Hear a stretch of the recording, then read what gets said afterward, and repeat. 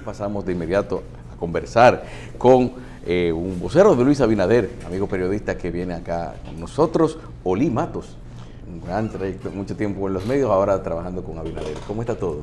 Bueno, buenos días. La verdad es que es una cátedra venir aquí. Me siento muy contento de compartir con ustedes en la revista. Y, El honor es nuestro. Se aprende mucho. Sí, pero eh, ¿cómo andan las cosas? Yo digo que quizás se le dio a Abinader dividió el PLD, eh, es decir, ya hay creado un lío que definitivamente del que menos, eh, la, la, menor conflictividad por persona está ahora mismo en el PRM. Bueno, no la menor conflictividad, realmente en el PRM no hay ninguna conflictividad. El Partido Revolucionario Moderno dio muestra de que está maduro, está preparado y está organizando la mejor propuesta de cambio en la República Dominicana en un momento no tiene cinco años de formado el PRM. Así es. Es un recién nacido y mira el posicionamiento que tiene.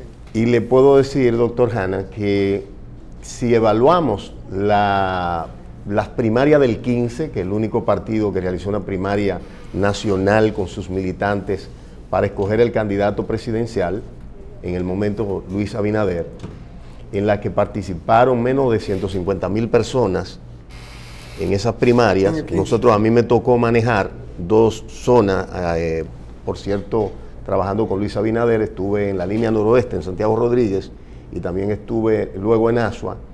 Le puedo decir que eh, en es, con esa participación Luis Abinader tuvo un desempeño y en un partido que estaba en el número 15 de la boleta, un partido recién creado, de obtuvo casi 1.700.000 votos.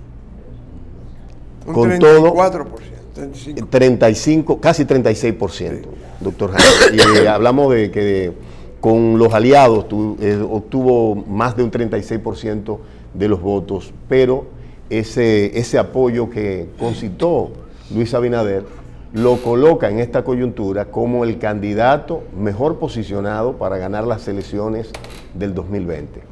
Claro, Luis Abinader fue candidato vicepresidencial en el 12. Exacto. Fue candidato presidencial en el 16, de manera que ya hoy no es un desconocido. Es un hombre que real, todo el mundo conoce la figura de Luis Abinader en este país. Es un hombre que todo el mundo conoce y además ofrece al pueblo dominicano la integridad personal, su formación académica, uno de los hombres con un currículum mejor eh, experimentado, un ejercicio práctico de gestión en materia corporativa que lo pone al servicio del país. Por lo tanto, no es un hombre que viene a buscar privilegios al Estado, sino la alegría de servir a su país. El compromiso, usted que lo conoce bien, doctor Hanna, a, eh, Luis Abinader, a pesar de, su, de que no es un, no ha sido un funcionario eh, de ejercicio público, es un hombre que ha estudiado la sociedad dominicana, que conoce cómo funciona cómo funcionaría mejor la economía de este país y está presentando a la República Dominicana una propuesta de cambio que involucra la creación de empleo, un verdadero sistema de seguridad mejorar los ciudadana sueldos, y pública. Sueldos, empleo de, es que, es que no, aquí no habrá mejor, es decir, aquí hay una campaña de precarización del salario por parte del Estado, una campaña constante de precarización del salario. Doctor Rana, lo único que crece sostenidamente en la República Dominicana son las remesas y la deuda. Si usted, por ejemplo, el propio, uno busca un cuadro del Banco Central, usted se da cuenta de que del 2010 al 2018 los dominicanos en el exterior enviaron como remesas familiares a sus familiares en todo el país, y es la única actividad que irriga al país entero, 36 eh, mil millones de dólares.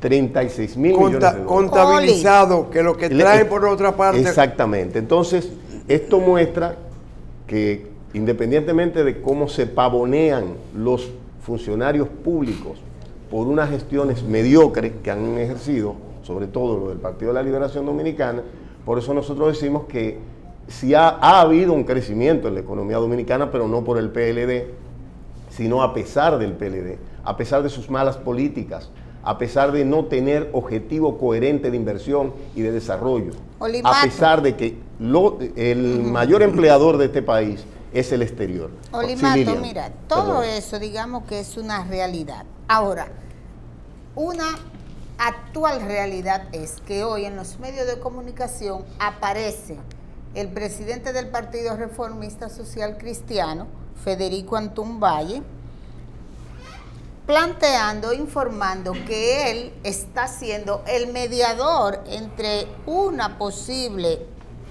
eh, un posible acuerdo Leonel Abinader. Ustedes como PRMista, ¿cómo están asumiendo y cómo piensan responder a la ciudadanía ante ese anuncio? Mira, Luis Abinader ha planteado que todo el que tenga interés en transformar este país, todos los dominicanos, todos los dominicanos, sin excepción. Nosotros no tenemos prejuicio incluso de actividades eh, anteriores de ciudadanos. Todo el que entienda que este país enfrenta un gran desafío, que necesita cambiar el modelo que hasta ahora nos ha asumido en el caos, que ha generado un crecimiento que se queda en pocas manos y somos uno de los países más desiguales de la región. Todo el que tenga esa visión puede participar de esta gran eh, confluencia de, grupos sociales, económicos, políticos que estamos participando alrededor de Luis Abinader. No se trata, es decir, de excluir a nadie. Ahora, todas las encuestas, incluso las encuestas que realizó el danilismo para determinar quién sería su candidato para enfrentar al doctor Fernández, que eh, le, sacó, eh, a pesar de que Danilo puso todo el gobierno a competir con él, la mitad de los votos que, que votaron en, a lo interno del PLD, eh, todas las encuestas decían que Luis Abinader tenía un mejor posicionamiento que todos los candidatos del danilismo y que el propio Fernández. y eso lo que ha hecho es crecer, no, no, incrementarse. Excúseme, señor Mato, y excúseme, señor eh, Hanna. Lo que pasa es que no somos ingenuos. Donde aparezca el Partido Reformista, hombres que nunca han salido del poder, se sabe muy bien que ellos van a pedir una tajada del poder. ¿Y qué le va a quedar a los compañeritos de la base? Es que nosotros no estamos, eh, nuestra, la posición, Luis tiene un, un plan país. Luis tiene un plan país. El único candidato que ha presentado aquí una propuesta de agua, de solución al agua, señores, es una pena lo que está pasando en este país. Yo estuve acompañando a Luis Higüey. Cuatro días para ir a la Junta, oye, no tengo, Sí, pero no es para inscribir las candidaturas. No, pero hay que registrar a los Sí, ya Luis es candidato presidencial electo por la mayoría, por más del 74% de los, de los de, los, de personas que fueron a votar de manera voluntaria, sin intervención de presupuesto público que la gente lo hizo de buena voluntad. si medimos, oye, si medimos el proceso del 15, lo relacionamos con el de ahora, la proyección de Luis es a superar los 3 millones de votos. Luis es hoy la mejor opción. Y esto no se ha analizado. Yo quiero analizarlo aquí, doctor Hanna. Y dirá por qué. ¿Con quién conviene hacer pacto? ¿Qué tipo de pacto se hace? Nadie corre más que el tiempo. Esto hay que darle tiempo al tiempo. Quique Antún lanzó su campaña presidencial hace 15 días en televisión, en programas como este. Su propia campaña presidencial para el PRCC. Sí, pero... Quique Antún ahora viene diciendo que él es mediador en una negociación en la que no tiene, no tiene vela en ese entierro. Eh, Yo no creo que Luis Abinader necesite... Así es, es decir, Luis está presentando su propuesta. Luis presentó aquí el mejor plan de seguridad aterrizado. ¿Por qué? Porque, señores, veamos lo que están pasando en todos los países de la región Veamos cómo eh, Chile, que es un país que tiene bien, un buen sistema de seguridad estructurado, doctor Hanna, que usted conoce bastante bien, eh, ese, ese país está desbordado en sus capacidades, eh, sobre todo Santiago de Chile, una ciudad de, de, 7 millones de personas, para contener las pobladas que se están registrando, fruto de que de la desigualdad. Y estamos hablando de Chile, un país donde el ingreso per cápita es prácticamente igual al de varios de los países desarrollados. Oli, el mundo se mueve alrededor de cuatro ejes. Inseguridad personal, social y demás. Así es. Corrupción. Así es. Pobreza y desigualdad de género y de todo. Entonces, nadie se va a inventar un programa diferente. Hay que trabajar sobre eso, sobre todo en este país donde los cuatro son elementos preponderantes en todas las encuestas. Por eso, ¿y quién más? Y déjeme decirle esto, porque al final usted que me está viendo, es padre de familia o es madre de familia, y muchos de los hogares han tenido que enviar uno de ellos al exterior para que le envíe el sustento a sus hijos, sin la garantía de que un Estado le dé, le permita a su muchachita ir a la universidad y volver a su casa.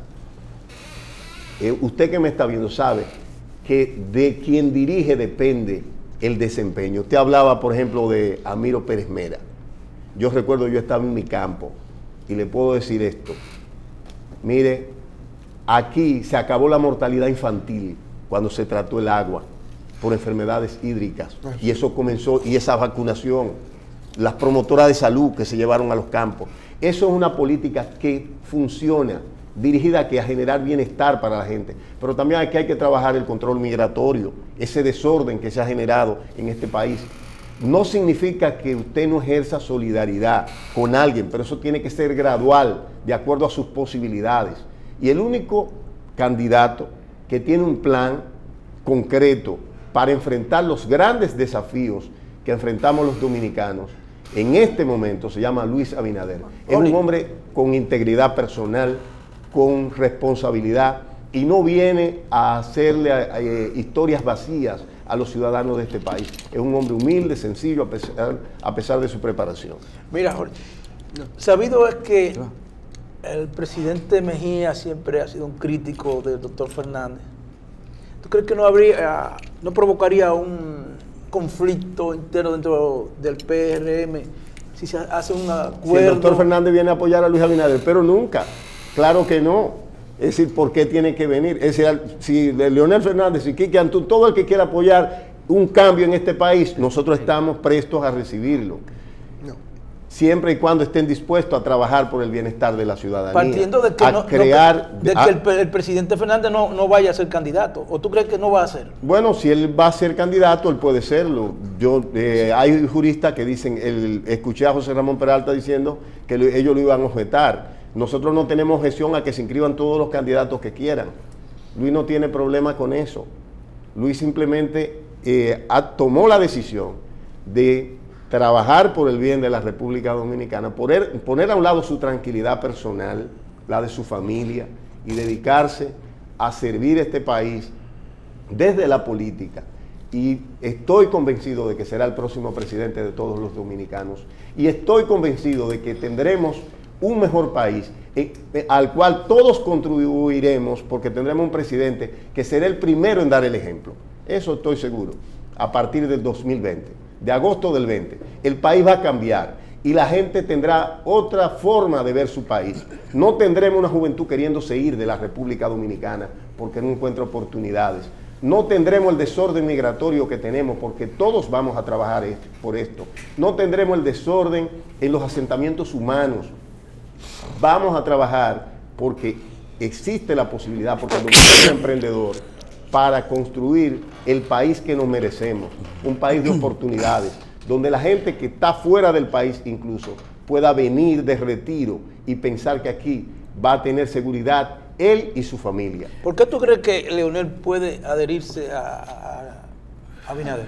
Bueno, la, Leonel es un político experimentado, eh, en su propio partido vio cuál fue el resultado del de, modelo político, incluso él mismo lo ha denunciado, que él construyó realmente.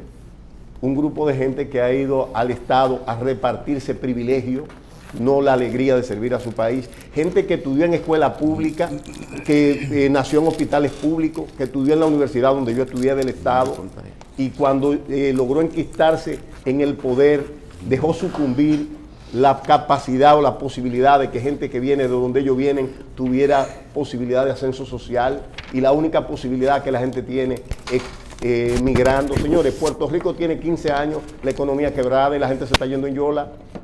¿Qué tiene que exhibir el PLD?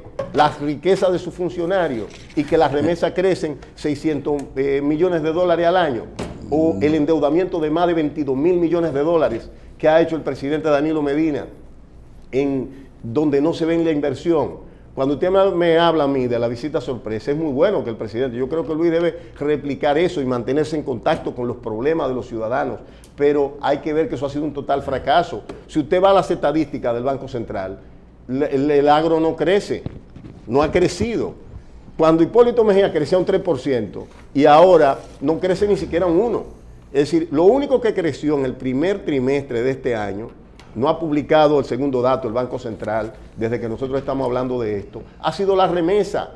Es decir, los que sustentan la economía dominicana es la gente estamos vendiendo, por eso los embarazos adolescentes, las madres tienen que irse. Y yo pongo de ejemplo todos esos pueblos del sur, donde las madres, Vicente Noble, Tabararriba, eh, Tamayo, Las Yayas, Padre Las Casas, el propio pueblo de Azo, todos esos pueblos de, Barahona, mm. donde las madres se han ido del país a trabajar a España, casa de familia, para mandar una pequeña remesa y sus muchachitas se le pierden y sus muchachitos son abusados porque no tienen dirección y no tienen un Estado que dirija. Se desintegra la unidad familiar. Olimatos, gracias, eh, vocero de Luis Abinader. Gracias a ustedes. El enemigo de mi enemigo es mi amigo. Parece ser consigna para las alianzas. Bueno, lo que yo puedo decirle y asegurarle a ustedes y, quiero hacer un último llamado, si me lo permiten, al pueblo dominicano. Señores, esto es, es decir, a veces, yo sé que se ha perdido la esperanza, que hay mucha gente que nos ha hecho muchísimas promesas que luego no cumplen, pero confíen en la integridad personal de Luis. No tiene, yo que lo conozco, que conocí su papá y que su padre era amigo de mi padre, conozco a Luis hace años, le puedo decir que el país tendrá el mejor presidente que hayamos tenido en toda nuestra historia porque soy admirador de Antonio Guzmán, de su experiencia, de cómo transformó el país. Creo que en él tendremos un presidente con el mismo perfil, pero con mayor formación y con la determinación de cambiar la situación que tenemos. Bien, muchas gracias entonces.